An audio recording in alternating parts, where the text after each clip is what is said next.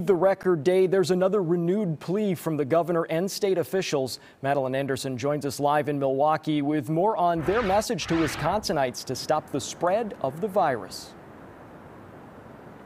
The governor and Department of Health Services officials say counties like here in Milwaukee County are seeing new cases at a rate so high they are three times what the state had considered the most extreme.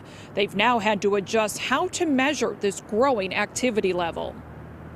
With two weeks to go before the Thanksgiving holiday, Governor Tony Evers and state health officials are reminding Wisconsinites that no gathering, large or small, is free from the risk of COVID 19. Plan for virtual holiday celebrations instead. On the heels of his statewide address about the pandemic and new executive order strongly urging people to stay home, the governor emphasized the dire situation the state is heading toward. Wisconsin could lose thousands more by the end of the year. Following Evers' message, Tuesday, Assembly Speaker Robin Vos says he reached out to Evers' office and is open to sitting down with him to talk about new legislation to stop the spread of the virus. And I think the people of Wisconsin want us to stop arguing about COVID and start working together to show that we can actually help to work together to solve the problem. This week's White House COVID 19 task force report describes Wisconsin's increase in cases as unrelenting. DHS officials have even created a new category of activity level from very high to to critically high after 65 of the state's 72 counties surpassed the top threshold. Back in April,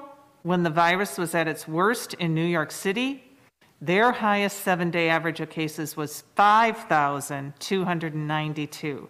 We are a thousand cases more a day. Doctors warn hospitals will have to start turning patients away if something doesn't change. There may be instances where people who have needs for emergency medical care that won't have a place to go in time. ICU beds are now 92% full across the state, while nearly 2,100 people are currently hospitalized with the virus. Reporting live in Milwaukee, Madeline Anderson, Fox 6 News. Okay, thank you, Madeline.